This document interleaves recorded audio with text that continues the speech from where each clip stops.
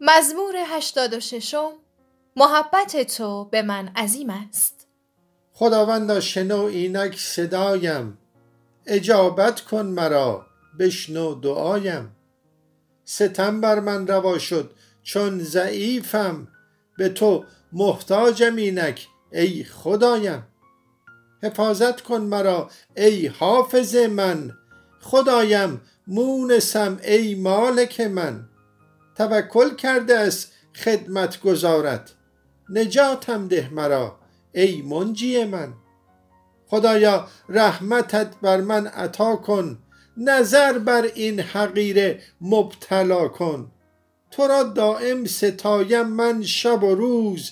به فیضت ای خدا دردم دوا کن. تو جان خادمت را شاد فرما. به نزدت آمدم دلشاد فرما. توی بخشنده و فیاض نیکو. دعایم بشنو و آزاد فرما. به روز تنگیم نامت سرایم.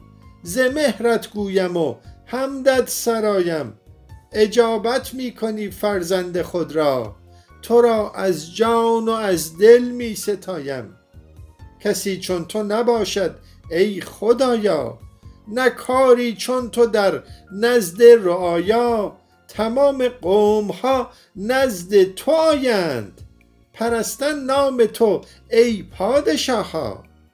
جلالت می‌دهند وصف تو گویند. ز اعجاب و بزرگی تو گویند.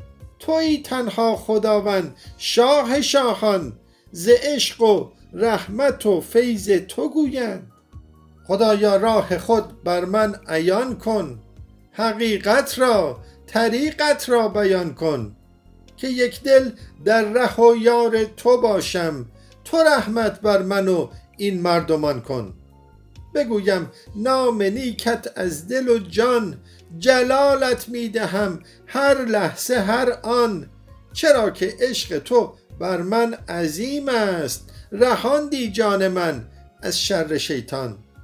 خدایا ضد من افراد مغرور ستمگر ظالم و خونخوار و منفور. علیه جان من در اتحادند ز تو دورند و از احکام تو دور. ولی یا رب تو فیاض و رحیمی پر از رحمت رعوفی و کریمی. تو فیضم بخش نجاتم ده خدایا. توکل بر تو دارم چون حکیمی به من لطفی کن و رحمت عطا کن. تسلی ده مرا از غم رها کن.